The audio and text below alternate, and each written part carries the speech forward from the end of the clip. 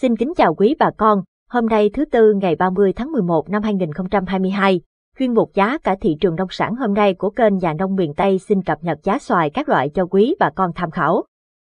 Giá xoài hôm nay tại các tỉnh Đồng Tháp, An Giang, Vĩnh Long Cần Thơ đi ngang nhau quý bà con. Giá hiện tại kênh cung cấp cho quý bà con thời điểm này chỉ mang tính tham khảo.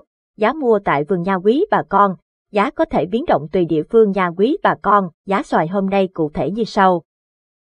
Xoài cát hòa lộc mua xô 330g trở lên 50.000 đến 65.000 đồng mỗi kg. Xoài cát chu xanh mua xô 20.000 đến 24.000 đồng mỗi kg. Xoài cát chu vàng mua xô 25.000 đến 30.000 đồng mỗi kg. Xoài Đài Loan xanh loại 1, 10.000 đồng mỗi kg. Xoài Đài Loan xanh loại 2, 4.000 đến 5.000 đồng mỗi kg. Xoài Đài Loan vàng loại 1, 20.000 đến 21.000 đồng mỗi kg. Xoài Đài Loan vàng loại 2, 7.000 đồng mỗi kg. Xoài cốc, 5.000 đến 6.000 đồng mỗi kg. Xoài ba màu loại 1 có giá từ 17.000 đến 18.000 đồng mỗi kg. Xoài keo mua xô có giá từ 8.000 đến 9.000 đồng mỗi kg.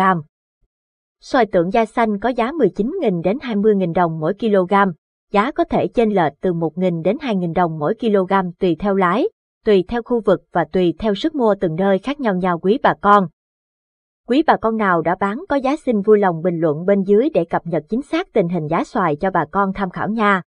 Ngoài giá xoài kênh còn cung cấp giá mít, giá thanh long, giá sầu riêng, giá lúa, giá phân bón cho quý bà con tham khảo nữa nha.